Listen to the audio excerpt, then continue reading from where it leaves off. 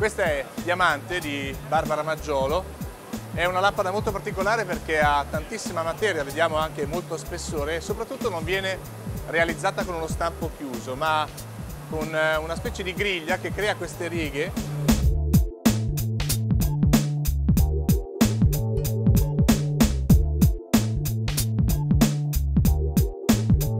La particolarità è che viene lavorata molto, vedete il movimento di polso del, del maestro che la lavora molto perché essendo molta massa, essendo caldissima ovviamente a temperatura di incandescenza, di magma, deve essere lavorata continuamente per una questione di gravità.